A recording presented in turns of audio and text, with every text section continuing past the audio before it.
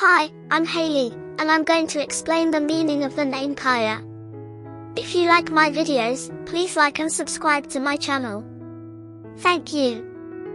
Kaia is a lovely baby girl name with Scandinavian roots and a rich historical and linguistic background.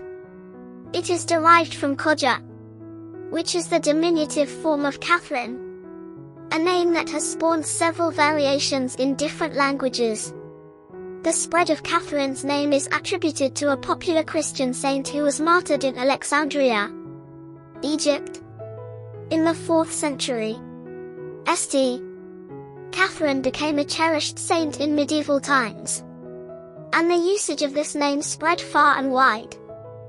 The etymology of Catherine is debated. But it is believed that it shares its roots with the name Hecate, a Greek goddess of the wilderness childbirth, and crossroads. Alternatively, some speculate that the name is derived from the Greek word aikia, meaning torture, a reference to St. Catherine being tortured at the wheel for upholding her Christian beliefs. However, this is not widely held. Kaia is the Norwegian variation of the name Kaja. In some instances, it is also considered the feminine form of Kai, which is the Hawaiian word for sea. The name Kaia is said to have a personality marked by stability and discipline. Similar to the number 4 personality. This personality type follows the rules and is conservative by nature. Prioritizing building things methodically on top of firm foundations.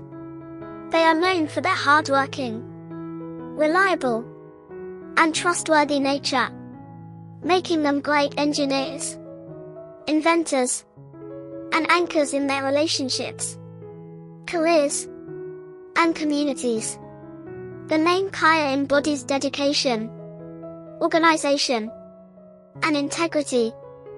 In summary, the name Kaia is rooted in a rich history of Christianity and mythology, with its origins tracing back to Catherine, it is a name that is associated with stability and discipline and is considered trustworthy, hardworking, and reliable.